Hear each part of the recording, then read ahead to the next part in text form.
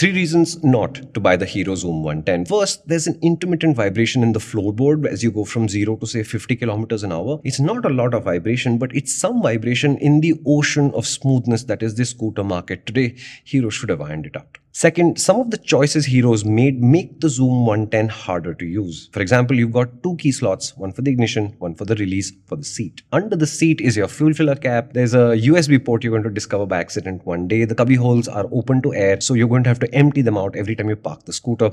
It's not very convenient. Third, this is an intangible, but the Xoom 110 is a stylish but a regular 110cc scooter in every other way. It doesn't represent any change in what's going on in the scooter market, which is a disruption free space for a really long time. Tell us in the comments if you think that's important, that the scooter market needs to evolve and offer more innovation, or that scooters are scooters and this is okay.